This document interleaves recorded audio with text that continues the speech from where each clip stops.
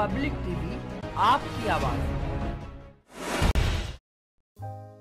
लंबे समय से औषधि विभाग को सूचना मिल रही थी कि पागबड़ा थाना क्षेत्र में नकली कॉस्मेटिक उत्पाद बेचे जा रहे हैं। इसकी जानकारी सहायक औषधि आयुक्त दीपक शर्मा को हुई तो उन्होंने ठान लिया कि वो इसका भंडाफोड़ करेंगे। उन्होंने इसकी पूरी फील्डिंग सजा डाली। 18 मई 2023 की दोपहर जब ये सूचना मिली कि इंसा जनरल स्टोर पर नकली उत्पादों का जखीरा मौजूद है तो सहायक औषधि आयुक्त दीपक शर्मा ने टीम के साथ मौके पर दबिश दे दी, जहाँ उन्हें वीट हेयर रिमूविंग क्रीम और डेटॉल साबुन की नकली खेप मिल गई।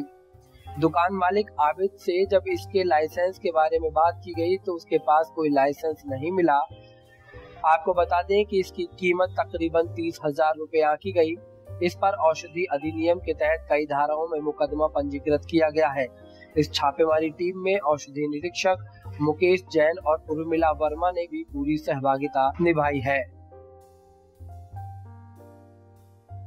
क्या मामला हाँ, मैं दीपक शर्मा सहायक आयुक्त औषधि मुरादाबाद मंडल मुरादाबाद। और श्री मुकेश जैन और श्रीमती उर्मिला वर्मा और कंपनी के प्रतिनिधि। ब्रांड प्रोडक्शन कंपनी से। सुशील कुमार। सुशील कुमार।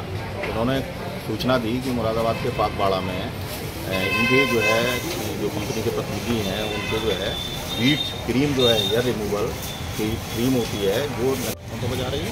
ये बाज़ार में। इंशा जनरल स्टोर पे हम लोगों ने ये जो है बरामद की है और इसकी अब सीज कर दिया जा रहा है और इसकी जो है पूरी कार्रवाई करके इनके खिलाफ संबंधित के खिलाफ कार्रवाई दर्ज कराएँगे क्या कॉस्ट होगी सर माल की जो सीज कराया माल की कॉस्ट तो अभी ये प्रक्रिया चल रही है। जब वो हो जाएगा, तब आपको उसके बारे में सोचना चाहिए। पब्लिक टीवी, आपकी आवाज़।